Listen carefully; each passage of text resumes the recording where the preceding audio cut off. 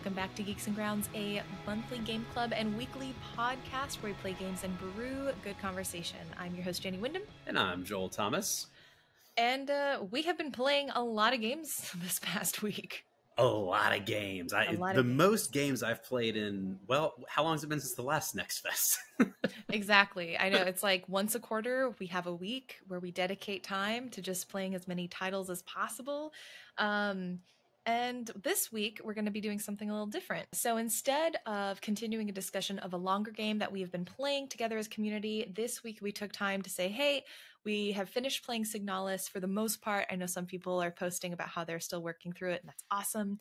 Um, but today we're going to be discussing games that we played over the last Steam Next Fest and highlight some of the ones that we tried and we suggested from last week, see if they turned out to be as you know as good as we'd hoped um, and also highlight some of the ones that surprised us that we thought were really great.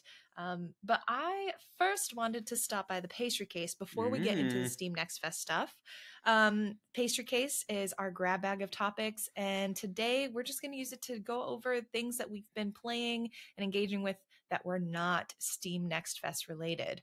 Um, joel what have you been up to you know, it's been a good week for a Joel. There's been a lot of favorite things that have uh, come to come to light.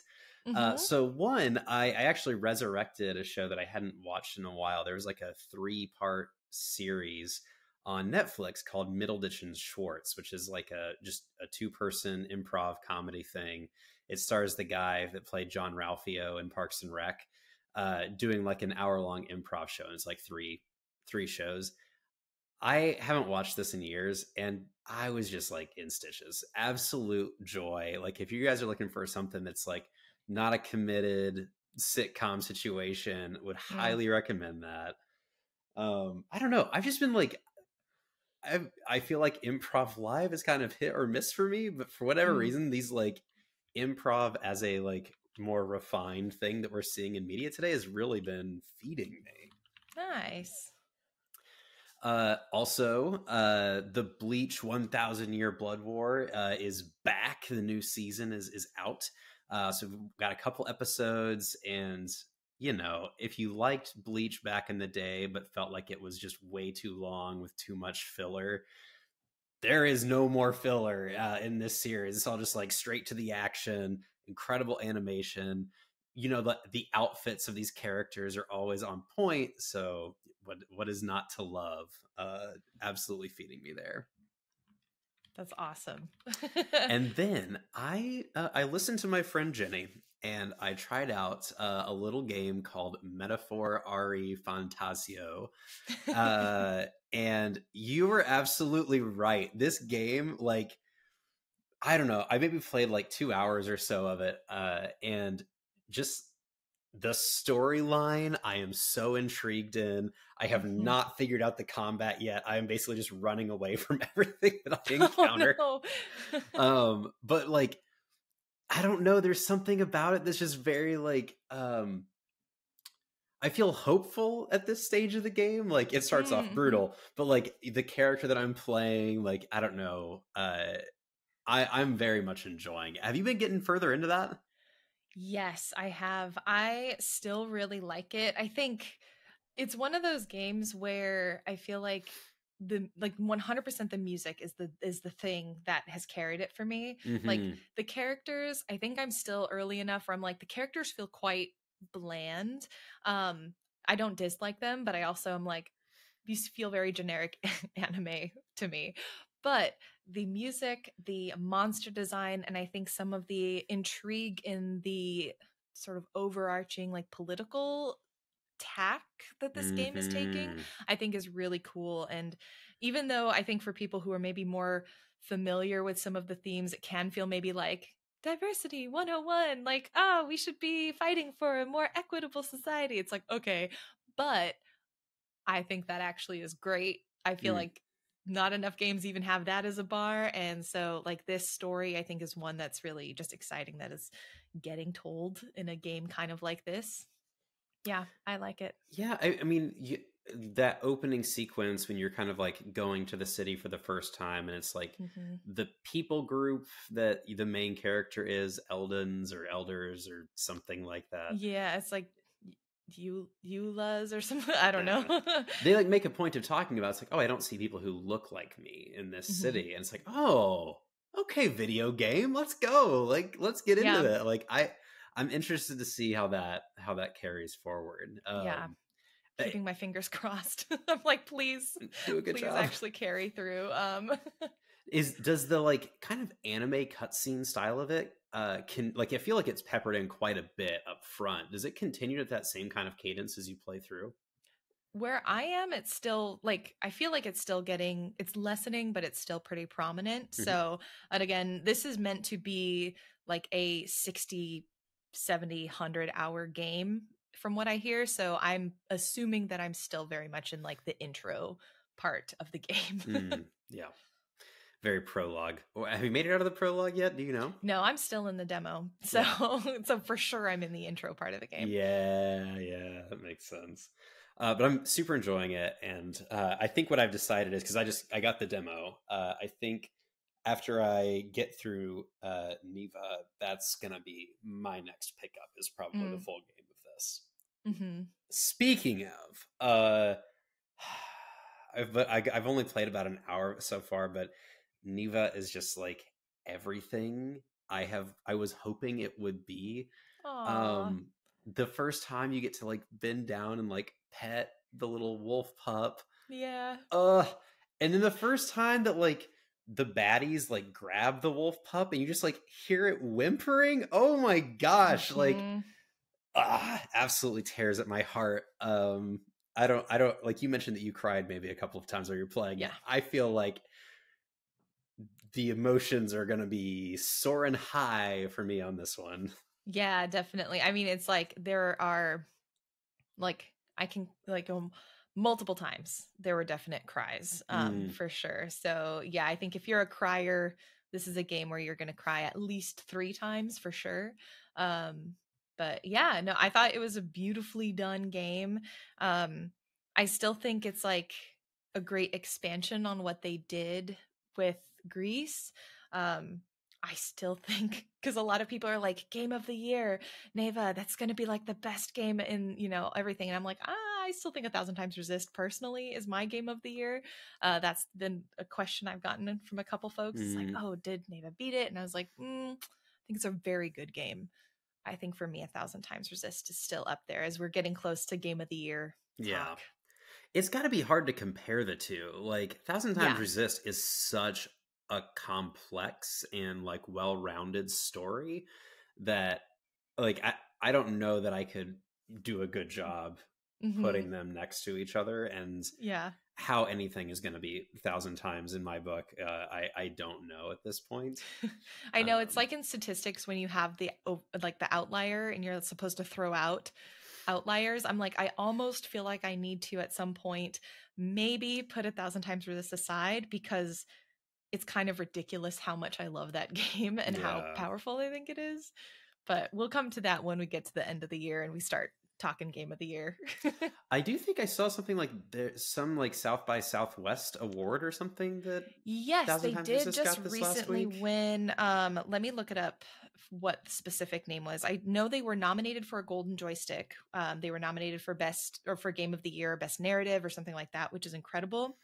Um, but they did win something. I don't think it was South by South. I think it maybe was like PAX mm, Australia because that just happened. something australia i think you're right Um, yeah i remember there being an so- x yeah let's see they are i feel like it should be very close to their social media like the top of their social media because it happened literally like days ago um i am scrolling as fast as i can but nope it was south by southwest sydney they win best international game so yeah pretty dang incredible um they're also they're just like on all of the lists. Like every time I see a top 2024 game list, most underrated game list, um, I see them on both of those, which is great because it's like they're both being seen as an underrated title, but they're being also cited in some of the top lists I've seen from some of the biggest outlets that are currently doing these roundups. So Mhm. I'm just so happy because I was really worried people would sleep on this game. Well, and because y'all are part of the Geeks and Grounds community, you were some of the first, some of the first to enjoy this game. Um, yeah, that's what I've been getting up to. Um, and yeah, again, huge congrats to that team. So, Jenny, what do you what have you been getting up to the last week or so? Um, more Metaphor ReFantazio. Just excited to keep playing it. Um, I swear, I just I need the music on vinyl. Like it's I normally only collect indie game vinyls just as a personal like this Mhm. is the thing I'm gonna like force my not force myself like kind of give myself a cap so I'm not just like buying everything. Yeah. Um, I was like I want it to be indie games that I really enjoy, and now I'm like you know what I'm gonna extend that to the Metaphor Metaphor ReFantazio soundtrack because it's so dang good.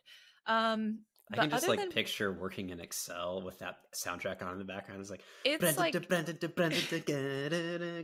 it's the most motivating like i have played it in like during work like it is now part of my work playlist okay. and it is one of those where i'm like if you need to get heads down and just like crank through some emails like it works really well um but i've been watching um so Ranma one half came out on netflix. This is the sort of the reboot um they are like the remake i guess of the anime that came out back in like the late 80s early 90s uh this is one of my favorite anime of all time and i feel like it is the netflix remake has actually for once i feel like in a remake has done it justice where the animation is just perfectly on point. They draw in elements from the manga and um expand upon the personality of the artist in ways that is just it's so delightful to watch. Like even if you've never seen it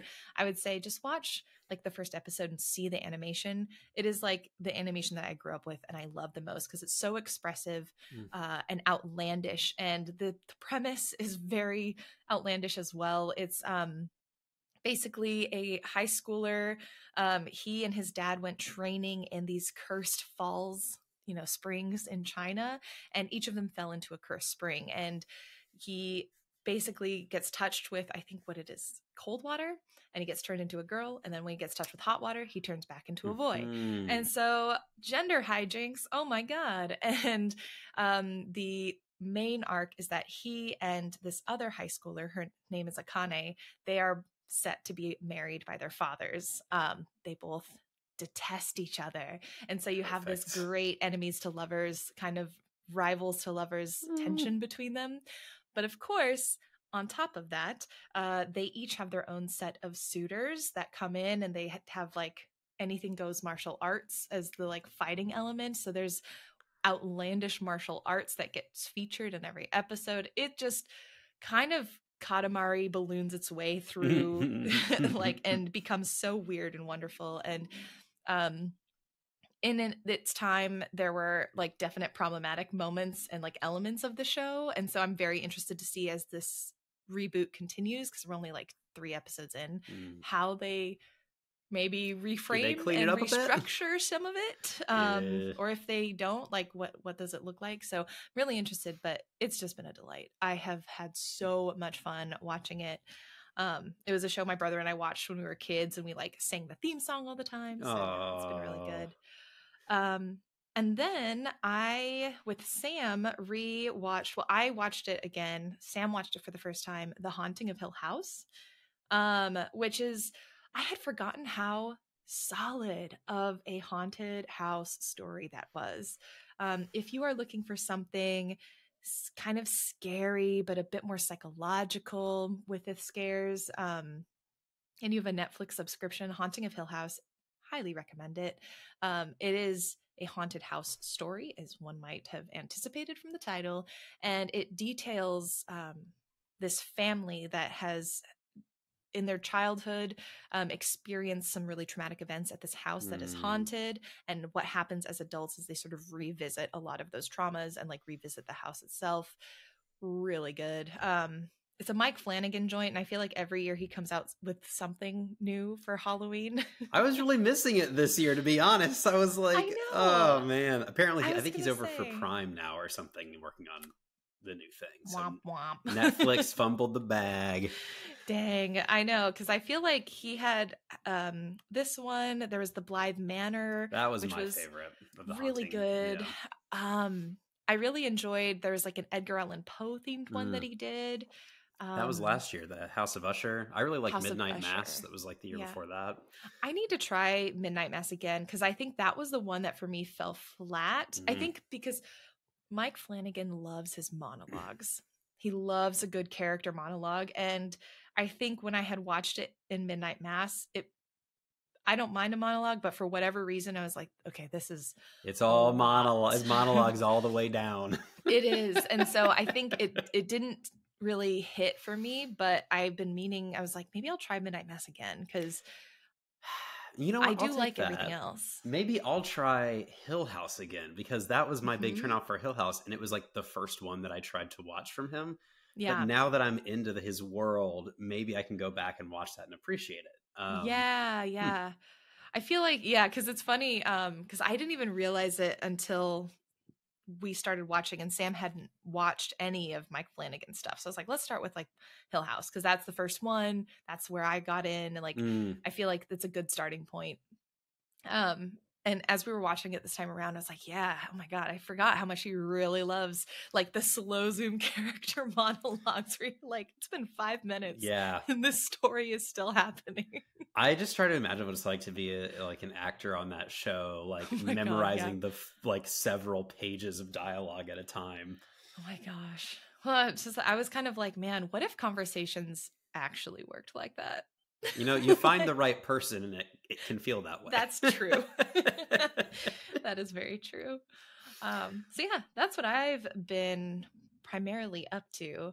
Um, I feel like I put I stopped. I've I've reached a little bit of a roadblock. I didn't do any reading this week, and I'm like, oh, I need to like keep it at a good clip because I'm mm. trying to get through what is it? Is Oathbringer the last book before the next sort of Sanderson release? Which one? Words of Radiance? Uh, rhythm. I forget. I rhythm. Rhythm, rhythm of War. Yeah, you're right.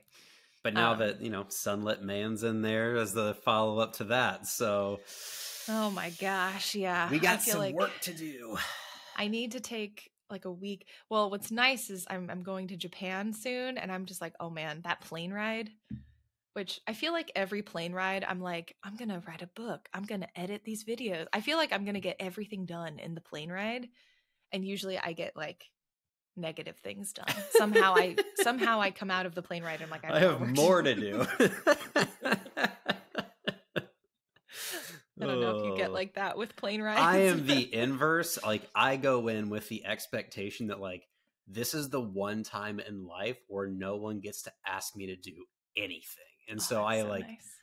it's like this is where I'm going to play video games or watch that movie that I mm-hmm. knew I wasn't that into but it's perfect for the movie for the plane ride right. kind of thing like I I love the plane as like my one escape from my to-do list. So it yeah. probably I guess technically I probably am also making negative progress on my to-do list because of that, but I don't have fair. the expectation that I'm going to make progress. Well, so it's funny because like the to do list on the plane never is even work. It's like I'm going to finish these games. I'm going to like do all these things that I said. I, like I'm gonna I'm gonna knit this amigurumi. I'm gonna like do. I'm like, what do I think the plane like is? I feel like it should be a time portal to allow us to just have that relaxation, but it needs to be like 10 times longer. But I actually don't want to be on a plane that long. Yeah, absolutely uh, fair. Absolutely fair. Yeah. But yeah, so it might be on a plane list for me. But that is it, I think, for our pastry case shenanigans. Um, just to highlight really quickly before we get into the monthly brew or the weekly brew, um, some game releases that we wanted to note. Wilmot Works It Out comes out on the 23rd, uh, and that's one that has a Steam Next Fest demo, and it may still have the demo by the time this is out. I'm not entirely sure. Um, but definitely, if you're a Wilmot Warehouse fan, Wilmot Works It Out is a great puzzle game. Uh, Cabernet, which I'm very excited for, is releasing on the 24th. That is a game where you play a recently converted vampire and you have to deal with the ethical dilemma of having used to be a healer, I think a doctor of some sort, and now having to drink blood of the villagers that live nearby. Um, so there's like a little bit of ethics there. There's some social intrigue. Um, and I remember playing the demo and just being hooked because your outfits actually change and like buff, debuff your different conversational and like social abilities. Hmm. So I was like, that's really fun. I love when fashion plays Yeah. and has a function. Um, That sounds like that's a really killer premise. I like that a lot. it was a great demo and um what you call it it was voiced too it was voice acted. So i think if you're into games that are like very similar like very narrative heavy visual novel-esque with choices i feel like that's probably up the alley for most of the people who listen to this podcast. Um i would recommend checking it out. And a quick note not a full release, but the pristine cut of Slay the Princess is coming out on October 24th. And this is to quote the devs um, this expands the game by roughly 35%. So- what? Yeah. So new voice lines, new illustrations, new music, um, glow ups for some of the current routes that you may get to. Um, huge amount of additional support and language like language support console support um and this is coming to everyone so if you've already purchased the game you will get the pristine cut which is freaking incredible What? um and also i guess it's a good time to mention because Hmm. it just so happens that Slay the Princess is the game for November. so our November brew will be Slay the Princess, um, and that'll be an exciting one because November is a bit of a short month with um, the Thanksgiving holiday in the U.S. So that'll be a fun one where we play and we just get as many routes as we can and discuss the game um, for November. So yeah, that's November's game announcement. Oh, I cannot wait to get back into this game. I uh, yes. I think I may have mentioned. I think I found the absolute shortest run possible on accident one time, and so Surprising nobody. I am ready for. I want to do like a long, detailed, like get me through that logic tree run. I want to be Yeah. like deep into it. So yes. yeah, I'm very excited for this one.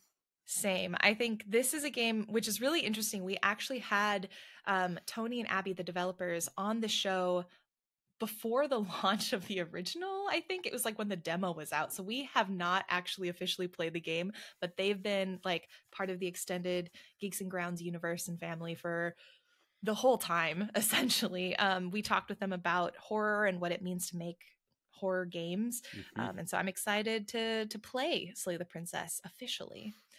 Um, all right. With that, I will say if you're interested in subscribing to the newsletter, go to geeksandgrounds.com. That's where all of this stuff will be given in link form so that you have everything you need to investigate what we've talked about further. All right. Next fest. Next fest. Um, I'm really curious. Uh, I'm curious as you were exploring demos or as you go into next fests, what is your goal? Like, what is your purpose in exploring the demos? I think generally it's to like I you know what it is? It's the Costco mentality. Like Mm-hmm. I am there to run in circles and get as many samples as I can Mm-hmm. and to like give me that little hunk of cheese, give me that little orange chicken, give me that Yep. little shrimp. Like that's how I approach Next Fest. Like I am just Yeah. gonna go around and it's like I like the title. I like the the title card. Uh, oh, I haven't played any platformers yet. Here's a platformer, and this one looks like it has an interesting Mm. story. Let me get into a story. And so, Okay. number one, I I I think I'm doing Next Fest wrong. Is probably what I need to give as a caveat what? based on my experience this October, which was not very positive.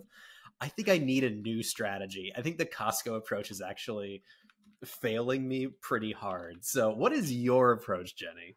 Well, I just want to I want to take a moment. I Mm. don't think there is a way to do Next Fest wrong. I think maybe you've just found a different goal and your old strategy isn't serving that new goal. Wow. Perhaps. What? Um, you should talk to my therapist. What a good new narrative you've provided for me. my god. Can I I'll be like, I'd like to take a cut. No. Yeah. Um, no, I think because okay. I also feel like this next fest was I don't know if it's because I just am in a point where I'm like most of the games that I was really excited for have come out. So I'm in this like maybe this Mm. valley in terms of I don't have anything I'm super super hyped on and so that's just where my excitement lies, but I felt like this was a really like there wasn't a anchor game that really got me like oh my god i think this is the game of the next fest i think this Mm. is so perfect you know where i feel like in previous nest fests i had at least one or two games where i was like this is what i was waiting for or this was like the surprise that has totally carried me through um, and made me excited for a launch. I think there are some games that are really, really strong, Hmm. but a lot of them were games that I already had a little bit on my radar. So I wasn't necessarily surprised by anything. Um, and I do, oh man, I feel very conflicted because I feel like I was looking at the charts and I feel like there were some games that I was actually quite surprised were as high up as they were Mm. um and that maybe that's just like my bias and sort of like not understanding completely some of the pc gaming desires um and some of the markets that come to a steam next fest but i felt like the charts didn't like bring up titles that i felt in previous next fests i would have seen maybe in the top like 50 even um so it was really interesting yeah like i feel like even looking in the top 50 there were some games where i was like i don't see some of my faves that i think should be up here up here. And so i don't know this is the biggest next fest we've had ever um we've had close to like it was 2700 plus games. So with that many titles it's like how how diluted is Mm. this pool? Um and there were some games in there that I was just like, I don't, I've never heard of them. Mm. I feel like people are playing them, but I don't know. I feel like it was just kind of a lackluster fest for me as well. Um, that's not to say the demos that we played were bad necessarily, but it was like a really interesting. It was interesting feeling for sure. Yeah, that makes a lot of sense to me. And I I wonder if that is where like we need to like step up and like do some serious curation work because Mhm. the the curation feels like almost non-existent and like Yep. I got the feed that was like, we think you'll like these. And it was like, for whatever reason, I don't know if it's because of like, like the few, like I usually am bouncing between Switch and my Steam Deck. And so Mhm. it doesn't have a very robust picture of like who I am as a player because of Right. like that missing link. But it, the games that were recommended to me didn't really jive. Similar to you, I tried to like sort based on what was really like popular, and I still was having a really hard time finding Mm. games that I was really into. I saw a lot of like first person shooters and like bullet hell games this year, which are like Interesting. not typically my vibe. I what, when you say that like you were seeing a lot of things that were not typical for like what you would hope to see or expect to see. What were some of the trends and themes that you were seeing? Um, I think I also noted a lot of first person shooters, which I wasn't as surprised by that necessarily. Um, but I think yeah, I, I think that was actually probably it. So more first person shooters. I feel like there were some games at the top, like there was this game like the precinct. And I was like, what is this? I have never seen this ever. Hmm. And it's this game that has like taken over. And so I was like, maybe it's just I'm not the audience. And so it's never been targeted towards me. And I'm only seeing it because I'm now looking at this like global list. Hmm. Um I think you're absolutely right. The curation is essentially like it's non-existent on a personal level. So and I think what's really interesting is we're very used to like on social media algorithms really curating very finely like what we are interested in like Yeah. what you can say what you want about TikTok but like if it if it detects you like something you will be shown that You're gonna get that thing. Um, and I think it's really interesting because even for a while, I felt like Steam was slightly improving its personal recommendations. Like I feel like algorithmically, it was like showing me games that I was into. But this next fest was really interesting because I feel like it was a back step um, compared to previous next step Oh, fests wow. I've had in terms of like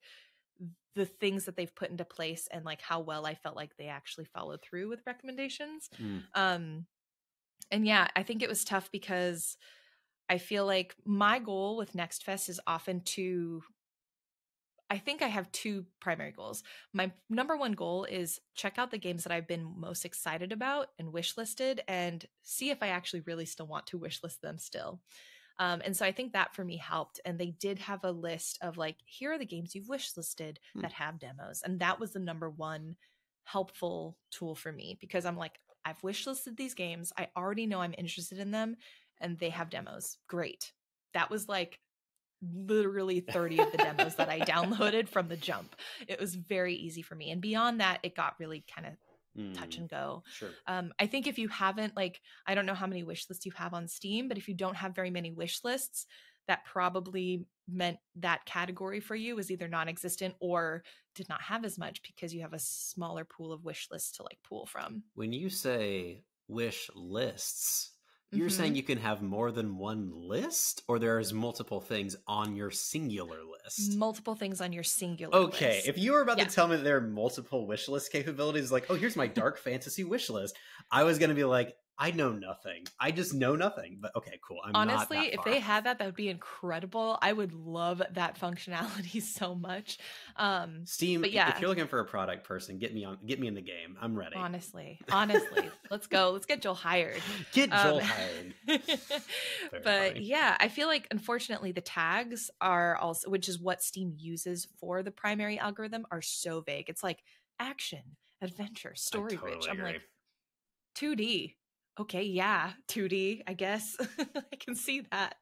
Um, and so it's tough because yeah, the they have these filters in place, but they're so inconsistent and so broad in a lot of cases they're not very useful. Mm. Um, but you're right. This is why I think having podcasts like this, communities like Geeks and Grounds, where people are playing these demos and sharing specifically what they liked and what they didn't like, is really helpful. Uh, because ultimately, I've been saying this, and I know a lot of people have said this, so I'm not saying anything new. But I think at the point we are at with the internet, um, it's about the communities you foster and like the recommendations you get from people because everything else ends up being just noise at this point. So it's about curation on the internet more than anything at this Mm. point. Death of the internet or something like that. What's it called? Some, something like that. Yeah. Uh, so I mean, as we get into our list, I guess um, I think generally you had a more positive experience than I had. So I'm I'm curious if you want to kick us off. uh, yeah. what was coming through on top? So just to share with folks what we're what we're gonna do, um, we all we played demos all week, um, and so we thought we'd come in with our top. Did we end up with top three each? Yeah. So Top this these are our top three demos um, from Next Fest. We may have time for a little rapid fire because we definitely played more demos than this, but we thought we'd want to highlight the ones that kind of stuck with us. Um, and so yeah, I guess I will go first. Um, I am on a survival horror kick. Signalis has infused my brain with wanting more survival horror. And so when I saw the Sorry We're Closed demo, I said, yes, please be good. Because this this looks like it could be the perfect follow-up for me for Signalis. Um, it releases on November 14th, so it's coming out Oh, soon. relatively soon. Yeah, I'm very excited. Uh, it's developed by A La Mode Games and published by Akupara Games. And it is a survival horror single player game. Um, it says it has rich lore, deep characters, and multiple endings. And what I loved, and I mentioned this in our preview Steam Next Fest portion last week, is that it has the darkness and goriness that you would expect from survival horror, where it's like things are rusty and decrepit and like there's guts and spikes and ugh, it's like nasty. Um, but then the character design is like rave kid meets magical girl like London scene. it just it feels so vibrant and like Mhm, mhm. stylish. Um, you have this pantheon of demons that the game sort of introduces you to, and it seems like the premise is you are sort of angsting and lonely because you've you're still missing your i think your ex girlfriend of three years ago so you've been pining for a long time and this demon basically focuses their attention on you and says aha you're going to be mine. And so you're trying to escape the clutches of this demon who has given you this power of the third eye. It's amazing. I had a great time with it. Ah, uh, I just is so fun. If you get the chance, like the demo is still up. Um, I think many of these demos may still be up for a few extra days because developers have learned a week is not enough time to get your demo featured um, with 3,000 demos available. Um, I would say if you're looking for survival horror, I think this could be something really special. mm, Um, the combat system is the unique part. I think um, in most survival horror, from my experience, it seems like you're either third person looking top down or you're in first person, but it seems like the traditional is third person. Hmm.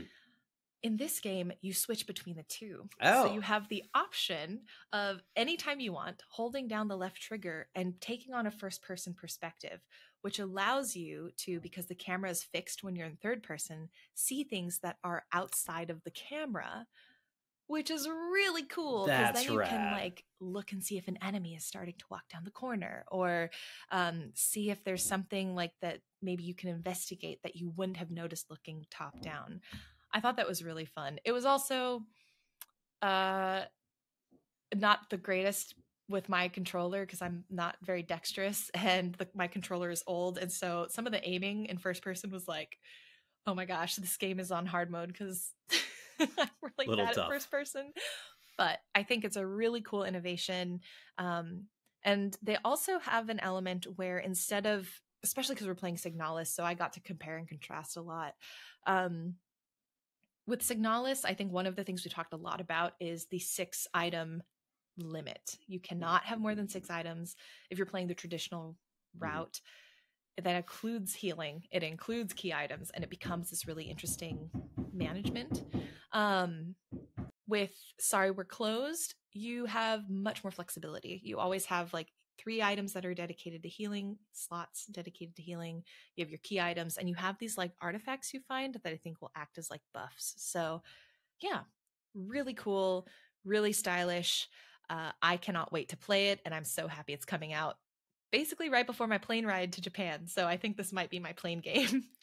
perfect. yep. Uh, I was actually like looking at the art style again, and it reminded me a lot of there was a graphic novel series. It's it's wrapped up now, uh, called The Wicked and the Divine, and Mm. it's kind of like a um, all of the the kind of evil gods, like gods of death, and you're like your satanic equivalents from various pantheons, uh, are like existing today in like a modern day London situation yeah. and it, you're like following like a mortal who's trying to like get into the circle and like understand what's going on and i the the neon and the designs Mhm. reminded me a lot of that from like looking at watching back through the the video of that so Yeah. Yeah. I think what's cool is I feel like, and I even think I mentioned this when I was playing through it, but um, I feel like we've gotten a lot of like Greek pantheon games, which is great. I love Greek mythology, but this being more angels and demons felt and not like of the Greek nature, at least at Mhm. least currently. I felt like it was also refreshing because I'm like, it's another pantheon, and they're clearly designed for you to like lust over a little bit. Like the way that they've done the art, it's like obviously Hmm. they want you to feel some things. Um, but it was really nice because I was like, oh, this feels refreshing because it's a different kind of pantheon to enjoy. that's awesome I, I mean yeah i mean i feel like i'm just kind of over the greek pantheon at this point Yeah, that's so 2000 and what two, two. I mean, I'm gonna watch. The when did Percy- Hades come out? I'm gonna watch Percy Jackson season two when it drops. So I'm. I mean, I'm not. I'm not actually over it. I just watched the Chronos series with Jeff Goldblum. Like, I'm not over it, guys. You I know. know. I'm not over it. Uh, honestly, a good pantheon is always welcome, but it is nice to see something different happening. a good pantheon is hard to find. Um, yes. Well, I uh my absolute top game of all of the demos that I played, I would only give like maybe a 6 out of 10. So again, oh, did no. not have a fantastic experience. Um, but that's what we're going to talk about first and that is Chrono Sword. Uh, Chrono Sword, we did talk a bit about this last time. It's a Souls like, but uh, more like pixel style animation, like top down 3D uh, movement. And as I uh, spent some time playing through it, there's some things that I definitely appreciated. Like one, they have absolutely adopted the like FromSoft style of resource management mm-hmm. and moving through the world. And so from that perspective, it was very easy to like pick up like having having played Souls games. Like it was very easy to pick up and be like, I don't really need much of a tutorial. Like I know exactly what's going on and I can I can make my way through this world. I also thought the initial level design was uh, really really cool. It, it it probably leans more toward um, the Bloodborne look and feel than like the Dark Souls, Demon's Souls world. If I were to like mm-hmm. give it a comparison, um, how it, however, there's a big mechanical twist in this game that I think is what they're trying to like position as like their main differentiator. And that is you are a time traveler. And so essentially, as you go to certain points in the game, uh, they add a puzzling element where you will mm. go through a time gate to like 24 years in the future. And so you go to see the same landscape, but like everything's kind of destroyed. And then you find that like it helps you navigate through the town and then you find a different time gate and now you're on the other side of the town so that is something that does not exist in a lot of the like the FromSoft games at least and i thought was mm-hmm. a very uh, cool added element mm-hmm. um I, here is the thing that it absolutely did not deliver on which i think is like if you're not doing this well in a souls game i don't know how you're successful as a game and that is the attack system felt so sluggish. Mm. Like you hit a button and it felt like there was a two second delay before your character actually moved and swiped the baddie. And like in a game that's all about like survival and like timing and paying attention to bosses' attacks, uh, that feels like uh, a non negotiable to me. Mm-hmm. And when I think about like comparable when I think about comparable look and feel for like what has set the bar for me in this kind of top down 3D game, it is Hades. And like Hades combat feels great. It doesn't matter what weapon you're using, it doesn't matter what your build is. It it feels good when you attack in Hades. And when I'm playing this game, it's like, yeah, the movement feels pretty decent, the dodging feels okay, but the attack feels terrible and like, I think I even noticed that someone in our Discord chat had said something similar. It's just like that feels like an absolute dagger to release a Souls a Souls like demo, mm. and the demo attack system is is sluggish like that. That feels like take an extra quarter and refine that before you release your demo. Uh, would be my my feeling.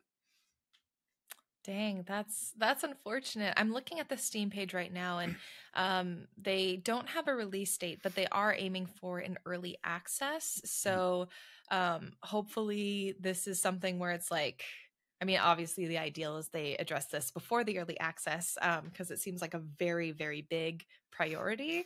Um, but hopefully, because they are planning on an early access period, um, it gives them that time to just polish polish up some of the attack timing um, yeah. in particular.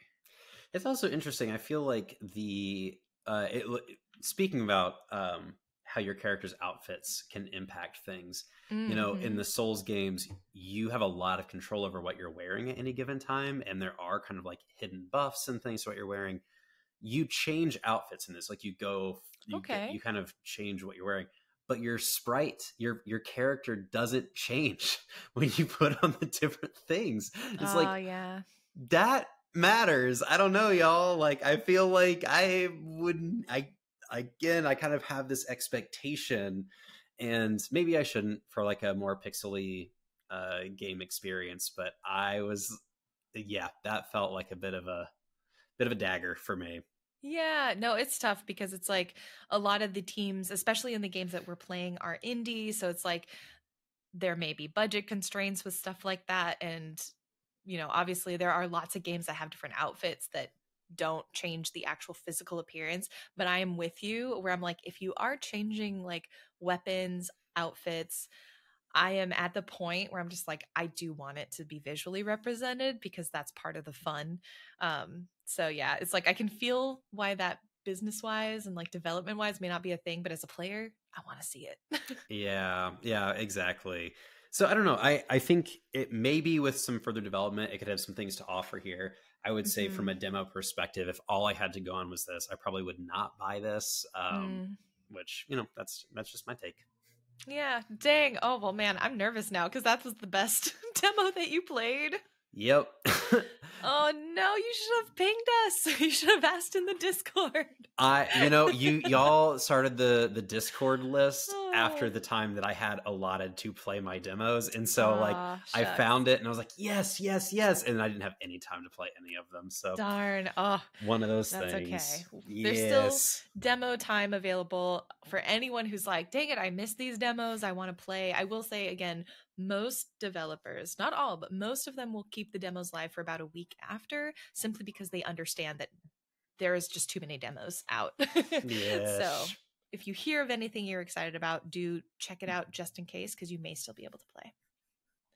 All right. What's next on your list? So the next one I played that was also really fun. Um, this is from YCJY Games. Um, they have done, um, gosh, I feel like they did Sea Salt, which was really good. Aquatic Adventure of the Last Human, which was really interesting. These are older games, like I think.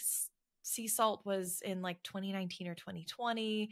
Um, Aquatic Adventure of the Last Human was like 2016. So this is a team that's been around. They've been making games for a while now. Um, Keep Driving is basically like modern day Oregon Trail. What? That is probably one of the easiest ways I can sell it to you. You are so in this demo, you are a person who is taking this road trip to your friend's house to just like go hang out and play video games with them.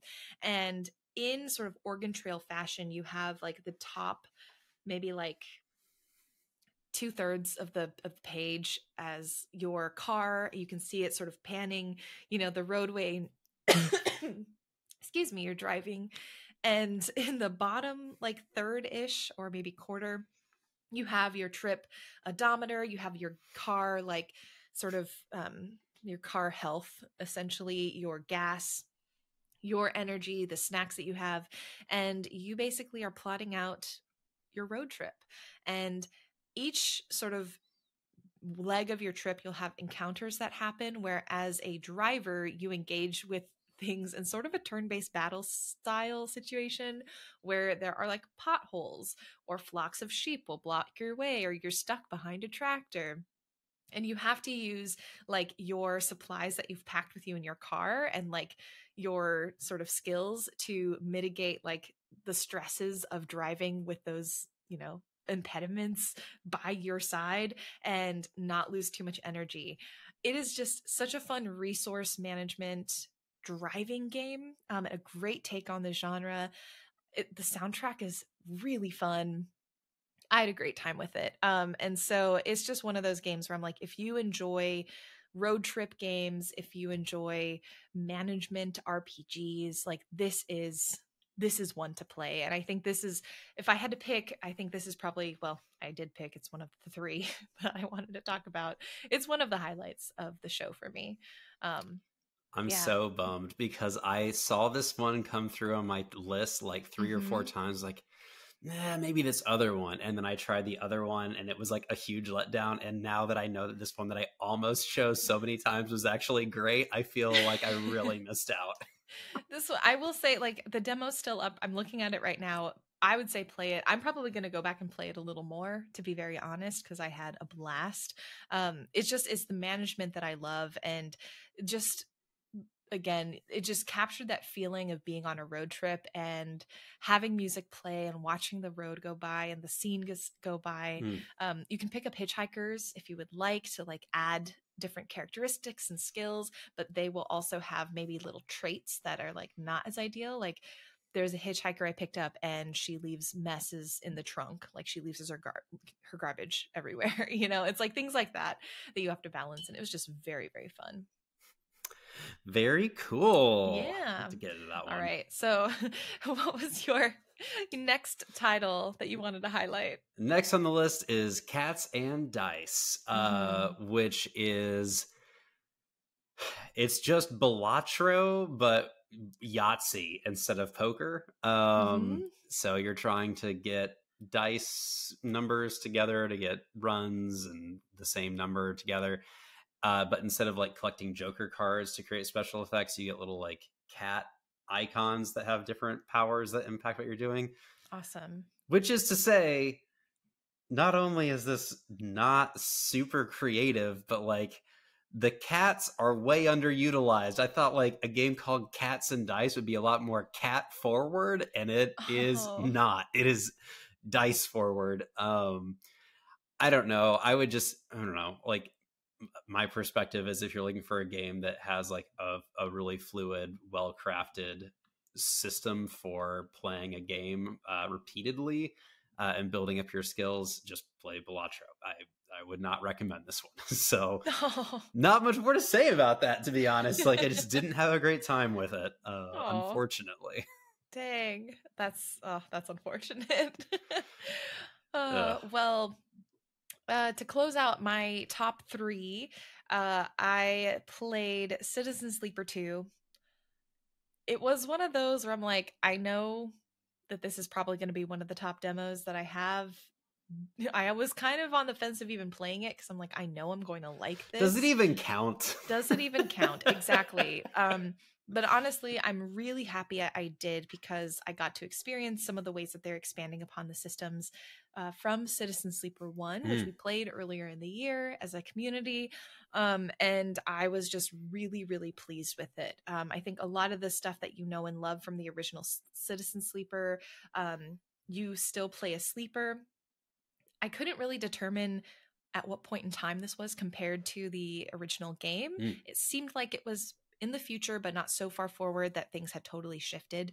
Um, other companies, I think, seems to have arisen. So there's more of a corporate conflict cool. than before.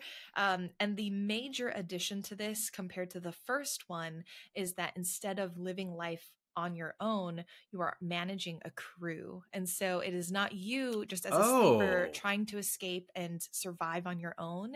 You are surviving with other people.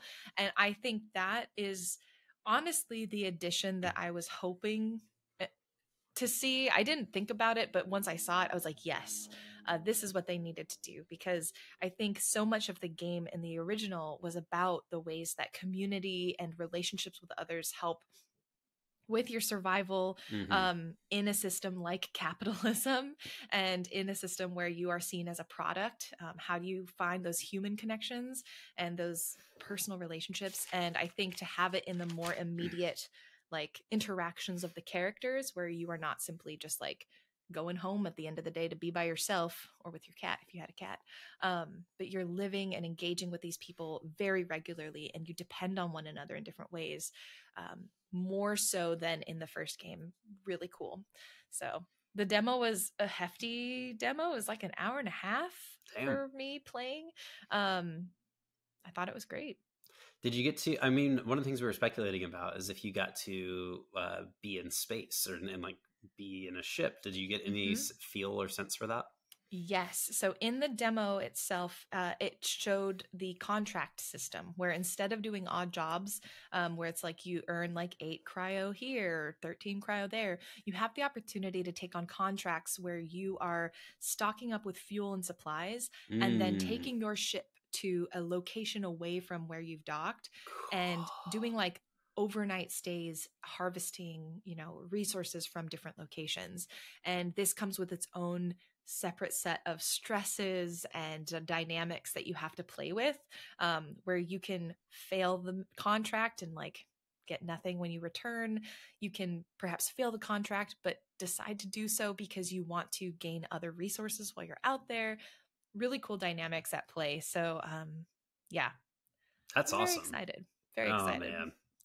Have to try that one out yes um, and close us out for our sort of detailed recap of mm-hmm. our our top demos. Um, what was the last one that you wanted to highlight? the last game that I tried that uh, I got reasonably far into was called Sultan's Game. Uh, since I haven't talked about this before, I'll read the synopsis. The Sultan commands you to play a cruel game each week, you must draw one of four special cards. The carnality card requires you to seek carnal pleasure. Extravagance compels you to spend lavishly. Conquer forces you into dangerous expeditions. And bloodshed demands a human. I can't read the rest. It cut off. Dot dot dot. Sacrifice maybe. Um, that this comes from Double Cross, uh, the developer uh, development team, 2P Games, the publisher. Um, here's what I will say. It is like someone took the idea of Yu-Gi-Oh and made it less fun and maybe more problematic. Like I don't know. Oh, I got no. I got a decent of the way a decent percentage of the way through this and I was like I don't think I'm okay with kind of the um fetishization is maybe too strong of a word, but certainly like Orientalism of mm. what is happening here.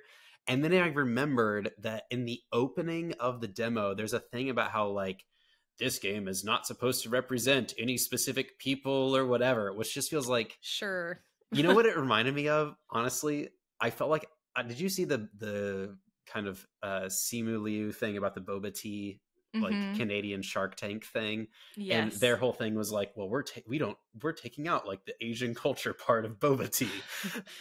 I feel like I played the video game version of the boba tea incident no. where they're like oh, we're pulling any sort of like Near East, Middle East culture out of this and just doing this like fantastical representation of that. And it's like, well, I don't know anything about these developers or publishers and I was just like, I don't know. I got a little ways into this and I was like, this doesn't feel good. And so I'm mm. not going to keep going. Um, and that was my third best ga- game experience that I had uh, during Steam Next Fest this year. Dang. Well, I guess, I mean, how long did you play these demos? Because I think one of the tips and one of the recommendations I would have is also if you're like, and, and I think this comes with practice too, right? Because like the more you play demos, I think the more you start feeling out like, oh, I actually can tell this is not going to be for me versus, you know, actually maybe this one's worth trying a bit longer. Um, I would say like as soon as you get those feelings of like, this isn't for me, I would say just stop playing the demo because then that allows you to do that Costco taste test even faster, you know? Yeah, and I definitely tried that. I think mm-hmm. I've played about 10 to 15 games and oh, like wow. just had like a lot of really bad experiences. No. Uh oh, I don't know, like Chrono Sword I probably put like 45 minutes into. Cats and Dice uh got maybe 15 and I was like, okay, I see what's going on here. I'm good. Mm-hmm. Sultan's game maybe 15 to 20. Like I'm not dumping tons of time into these guys. It's just like I had a lot of bad experiences in this next yeah. It was a real bummer. Dang. Well, that's unfortunate. Um, just to end on a bit more of a recommendation oriented note. Yeah, get it, get to it. Make, um, bring us home. yeah. So some rapid fire. So I ended up playing, and I still have maybe about 15 demos I want to try and like get through tonight just to see how they play. But some additional highlights that were a bit cool, surprising, fun. Um, Symphonia, which is like a platformer uh, sort of precision platformer where you're like puzzling through. It's very Celeste like. Um, you play a character that is going through the world of um, sort of music, I would say. Uh, and it's been decimated, and you're trying to figure out what's going on. The story itself, honestly, I was like, mm, it's fine. But the music and the visuals, I think, were really interesting because this is a fully orchestrated score. Hmm. And it felt like playing a Whoa. sophisticated version of the silly symphonies back in the day, where it's like there's no dialogue. You just have these instruments that are kind of like talking with their instrumentation.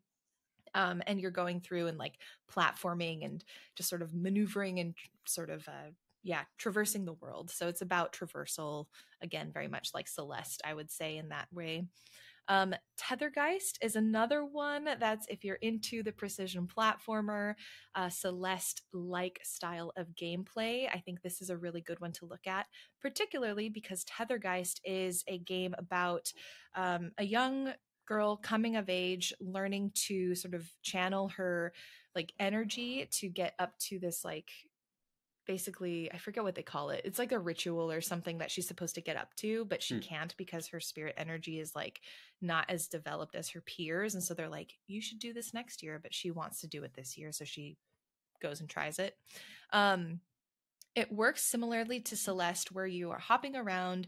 You can collect little energy beads to give yourself essentially like a double jump. But the difference is that as you are collecting these energy beads and getting ready to do your double jump, you can slow down time and kind of maneuver your they call it the tether um, so you can make some more interesting complex movements with your jumps uh, i found it really fun and it's like Celeste for thinkers, where Celeste is very much reaction time based. Oh, and so you yeah. don't have, like, you have to think through the puzzles, but once you are moving in Celeste, you kind of have to keep going. Mm-hmm. Tethergeist provides you the opportunity to slow down and That's think awesome. about what your next steps are. Highly recommend it um, if you like that kind of feel. Uh, I didn't even finish the demo, honestly, but I got, I played for like an hour and a half and I mm. thought it was great. So I was like, this is enough for me. Um, I was just having fun. Um, a game that was, I think, too challenging for me, but I feel like we have enough rhythm game fans in the community. I wanted to give it a shout. Uh, it was called Beat Block. Um, and my note I wrote down as said for the rhythm freaks out there. Um, it's one of those games like so it's like Pong where you have a slider that you slide around with your mouse, um, and instead of having the rhythm like beats come down vertically like you would in Guitar Hero or Rift of the Necrodancer, which was another demo that was awesome.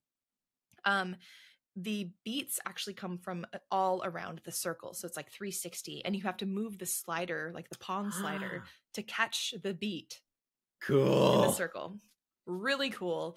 I was very bad at it, but uh, I think if you're a good rhythm game aficionado, like this would be right up your alley. I just have fallen off of my rhythm game like mm. habit and so i feel like it was just a little bit the, the 360 angle of it got a bit too much for me. Um, but also you know, Rift of the Necrodancer. That's another really good demo. That kind of reminds me of the the piano game from the Final Fantasy releases last year. Is like that kind mm, of like mm-hmm. two circles that you're like moving around, but it was yep. like that was you were moving from the inside outside. Going from the outside in to like catch the beat feels very interesting yeah, it was really fun. It's super minimal where it's like it's basically you are this little block um and it's black and white and it's just blocks in black and white. Mm. It's very simple. Um I would be really interested to see if someone very good at the game played it and like how far they got cuz I was good enough that I could feel like it was maybe fun but not good enough where I was like if I was an advanced player would I think it's fun. wasn't that good. Gotcha. Um, but I had a good time with what I played. Awesome. Um, Sopa. Oh, sorry. Go ahead. No, just that was it. Oh, uh, Sopa, which is um by. I want to make sure it's called Sopa St- Tale of the Stolen Potato. It is by Studio Bando. Uh, this is a game about this young boy, Miho. He steps into the pantry to get potatoes for his grandma who's making soup in the kitchen. Um, And like kids' imaginations do, his imagination kind of flies away and he envisions a frog that steals his grandma's potatoes and takes them to the black market. So he jumps into the pantry Narnia style to try and get the potatoes back. Incredible. Um, really fun, charming, whimsical. The visuals, a little rough, I'm not going to lie, Mm. but the story was charming and the world was charming enough that I didn't really care that it was a little rough on the eyes at some points. Um, Was it like a, playing. a happy version of Bramble? Um, I guess, yeah. Yeah, much more happy. Um, for sure. Definitely much more happy. um, I think the game is going to play with moving back and forth between the real world and Mm. like seeing your grandma and maybe helping with the cooking and then going back into the pantry fantasy world. Um, so magical realism, childlike whimsy at its finest, really. Um, at least thematically. Again, I think the visuals, I'm like, I hope it polishes up just a little bit, but um, that's okay because the story is very heartwarming. Um, and then oh, there are so many. Honestly, I played a lot of really solid demos. I feel a little bad for saying this Steam Fest felt lackluster because I think there were a lot of strong games. It's just there wasn't like a highlight highlight for me. Mm. Um, I wanted to shout out really quickly Windblown. Um, I'm especially happy and proud because this is actually one that I worked on right before I left from Kepler. So I have like a little bit of oh, this is one of the last yeah. projects I touched before piecing out.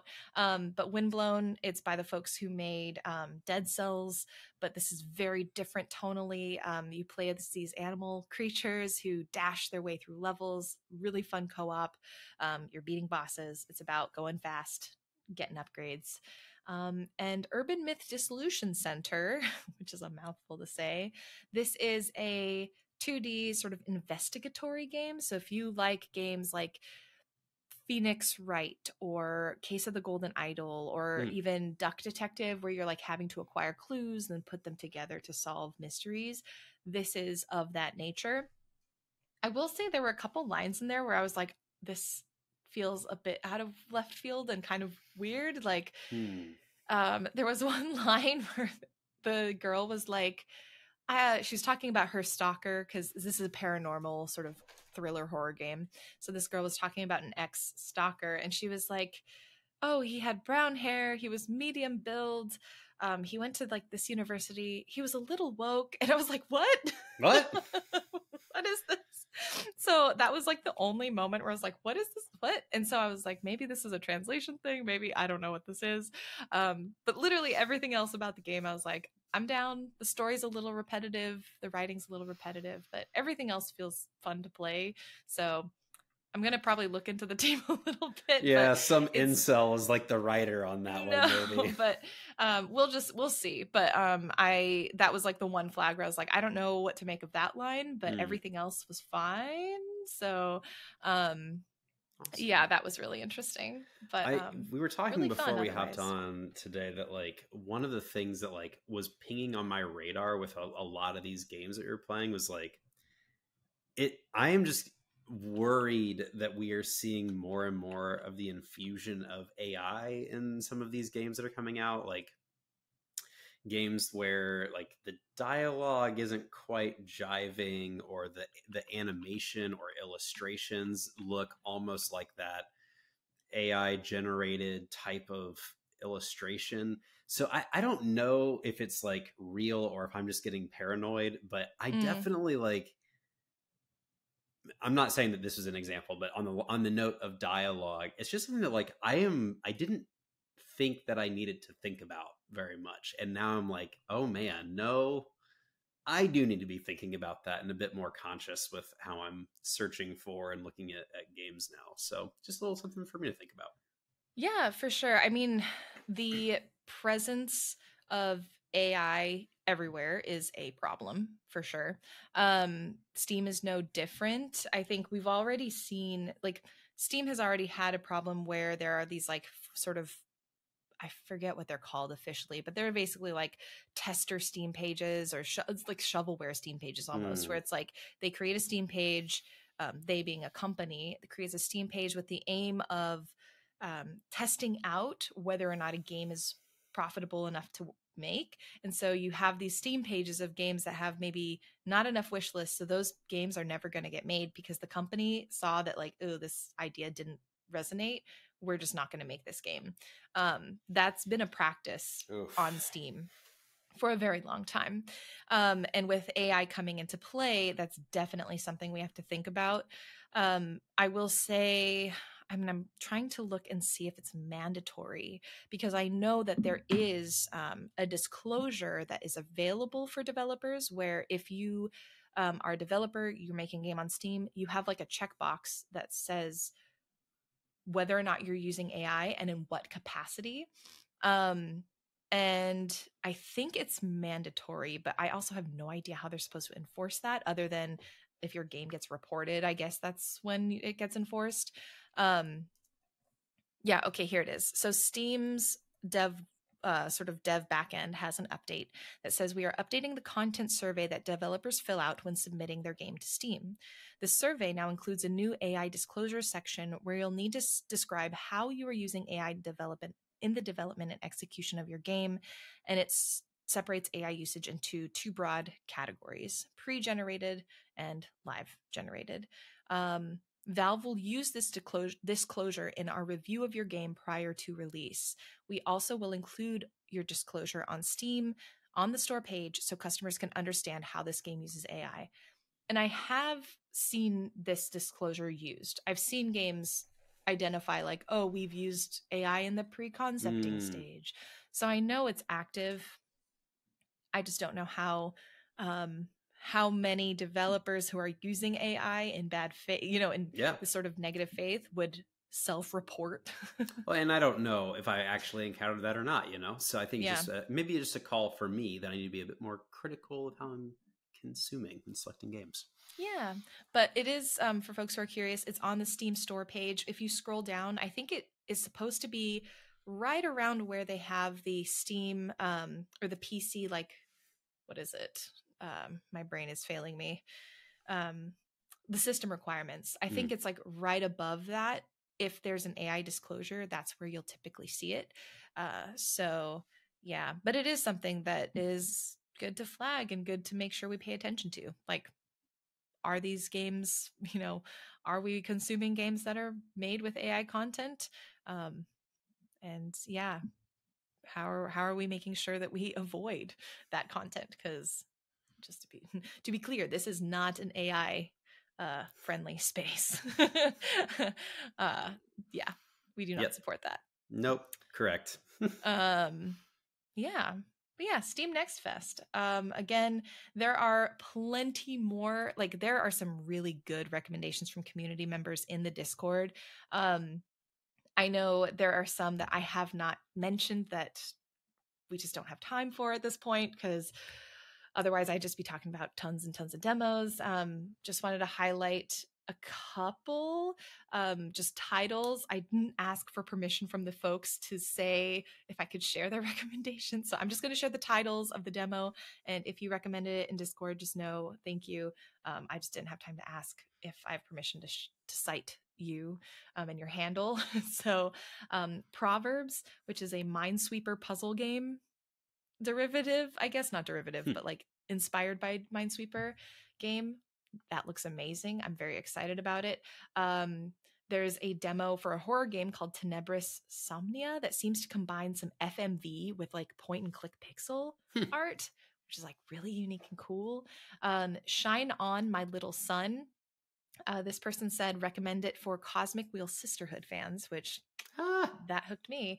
Um, so very, very excited about that. Um, so those are some additional just community recommendations really fast. Thank you to the folks who recommended those demos. Um, hmm. Last bit of news. So we announced our November game. That was Slay the Princess. Very excited. Um, pick it up. Start playing it now if you would like. We're going to be playing it through the month of November and talking about it, but you can start it now. I would never Mhm. discourage anyone from doing that. Um, but we are almost to 2025. we are It's it's around the corner, folks. it's too close, honestly. Um, it's too close. But this means we need to set up nominations for next year's games. Um, wanted to keep the same sort of style that we did this year because that felt like it worked really, really well. Where about half the games will be nominated by you and voted on by you, the community, and then half um, we will curate. And um, so oh, nominations are open. As of you listening to this, um, please feel free to send me titles of games that you would like to see as um, options to be voted on during our voting period. Um, considerations cost, time, genre, themes. Um, generally, we try to avoid games that are exclusive to one console. So if it's like a Switch exclusive or a PS5 exclusive, try to avoid that because we want games to generally be more accessible to folks. Um, and generally, if they're console ex- exclusives and AAA titles, they tend to be more expensive. So we try to avoid that. Um, genre, I think my genre sort of no is like war games, first person shooter war games. Not here for it. I also like AI and capitalism. I also don't like the military industrial complex. Mm-hmm. So I think on, that. on, that note, just generally, uh, first person games are things that are like we try to do as, as little of as possible. So mm-hmm. if you're thinking about games, that's just something to, to be considerate of. Yep. We have done first person games, but just to be accommodating of anyone who maybe gets motion sick, that's the reason why we typically. Mm-hmm go lighter on the first person perspective. Um, and generally, we like to look for games that offer something to talk about. So it doesn't have to be emotionally. I love games that make me cry. That is typically where I will lean. Um, games that are emotionally just like intense, mm-hmm. I would say but it does not have to be emotionally intense. We've played games like Thank Goodness You're Here, which was very lighthearted and still offered some great discussion. Um, you can think about games in terms of their systems and like what can we talk about in terms of the way the game was designed. So don't feel like you have to pick um, narratively strong conversation starters. You can also think about what are games that inspire you with their design and like what you would like to talk about there. Um, any other considerations you wanted to highlight, Joel? I think just uh, one of the things that I really appreciated about this year is we got some older games that uh, I had totally missed when they came out, and so uh, if you are thinking of a game, you're like, "Hey, I'm not sure," because maybe it's you know older in some way. Don't let that hold you back. Uh, we love to uh, we love to re-explore and play games that maybe we did play once or maybe haven't played and just totally missed. Uh, mm-hmm. So don't mm-hmm. feel constrained by that. Um, yeah. And of course, you know, since the community is going to be part of the vote, like it's not. Uh, it, the the weight is not all on your shoulders. Uh, if yeah. you have an idea, throw something out there. We want to we want to hear and hear what you like. Yeah, absolutely. I think honestly, when in doubt, um, throw it out. I don't know. Just trying to think of a slogan. Throw it out we'll in, in a good way, like in, in a, a, good way. To like us. Throw, throw it out to over, us. Throw yeah. it over and out to here. um, but yeah, I think that's a really good point. We don't want to be a, a community that only plays the newest games. Um, because also I think it is like Joel said really important to revisit stuff that we maybe haven't explored within the fresh eyes that we have now. I think some of the really interesting conversations we had like with Night in the Woods for example was it was a game that really resonated when it came out. How does it feel now to have mm-hmm. played it? Um so yeah, definitely just recommend recommend nominate you know share the games that you would like um in any capacity. I also wanted to highlight we do rank choice voting. So your nominations, um, we're not going to force you to vote like against playing for mm-hmm. a game, for right. example. We are setting up this system in a way that we hope mirrors how voting should be, where you're voting for the things that you like. Um, and in hopefully doing that, we come up with a list that everyone is excited about for the next year. Um, Basically, as we go into election state uh, election season here in the states, uh, the Geeks and Grounds voting system is better than uh, what we have as a nation. So uh, we are the change we hope to see in the world. exactly.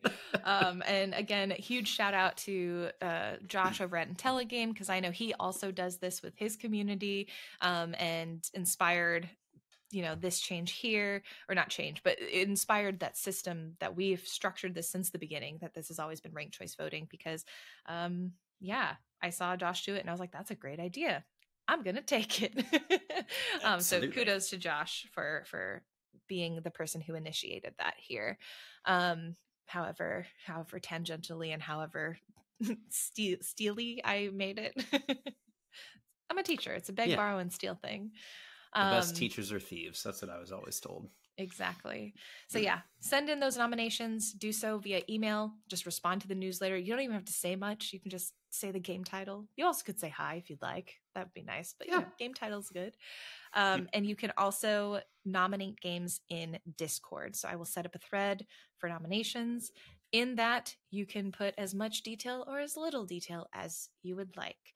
Um, yeah, no pressure. So want to make this as low lift for everyone as possible. And if Gex Enter the Gecko on N64 happens to get submitted a hundred times uh, by a bot, I mean, who's who knows where that's coming from? Uh, uh, any other housekeeping for us today, Jenny? Um, I think the last one is that our hangout for October is happening on the 26th, which is a Saturday at 3 p.m. Pacific in Discord. We're going to primarily be talking about Signalis, but of course, we've been talking Next Fest. So if there are any Next Fest demo recommendations or thoughts, we'll probably also squeeze those in as well. So definitely come hang out if you're free. Come hang out and uh, blow off some steam with us. hey. Hey. Thanks, y'all. Bye. Bye. The Geeks and Grounds podcast is produced and edited by me, Jenny Wyndham. The logo is designed by Lee Thomas, and today's theme song is from the Keep Driving demo. In addition to finding episodes across YouTube, Spotify, and Apple Podcasts, you can hang with us on Instagram and Blue Sky at Geeks and Grounds and reach out to us with questions, comments, thoughts, or feedback via our website at geeksandgrounds.com. Thanks again for listening.